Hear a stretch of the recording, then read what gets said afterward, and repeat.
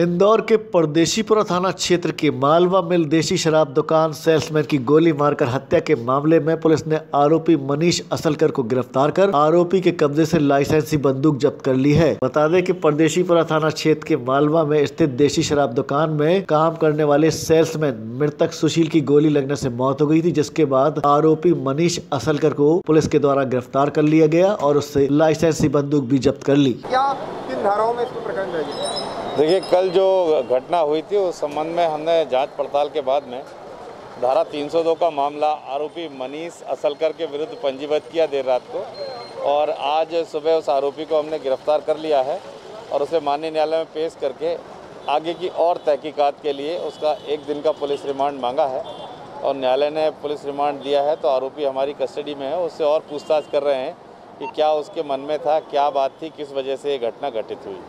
Sir prima facie क्या लग रहा है? क्या जानकारी मिली?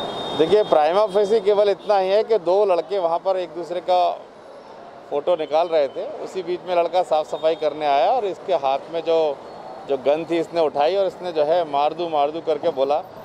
अभी हम यही जांचने की कोशिश कर रहे हैं कि ये मज़ाक की बात थी या वाकई में इस बात को लेके वो सीरियस था। किंतु गोली चली है, एक व्यक्ति की हत्या हुई है और सीधे तौर पर वो लड़का दोषी है तो उसके विरुद्ध अपराध पंजीबद्ध कर लिया है। जैसे जैसे इन्वेस्टिगेशन आगे बढ़ेगा इसमें और कोई नया एंगल आता है तो वो भी अवगत कराया जाएगा। इन्वेस्टिगेशन में लाइसेंसी बंदूक का इस्तेमाल किया गया ये बंदूक किसकी थी और कैसे देखा ये रामराज सिंह यादव करके एक व्यक्ति है इसका वर्ष 2011 का बंदूक का लाइसेंस बना हुआ है। उसकी लाइसेंसी बंदूक है। वो यहाँ पर गनमैन का जॉब करता है और जब ड्यूटी ख़त्म हो जाती है तो रात को घर जाने के बाद में वो बंदूक को यहीं छोड़ के जाता है। लाइसेंसी बंदूक है। वो किस किस कारण से यहाँ छोड़ के गया, क्या रोज़ ऐसा ही करता था, इसकी भी तहकीकात की जा रही है और जैसे आगे इसमें पता चलेगा, आप लोग को अवगत कराया जाएगा।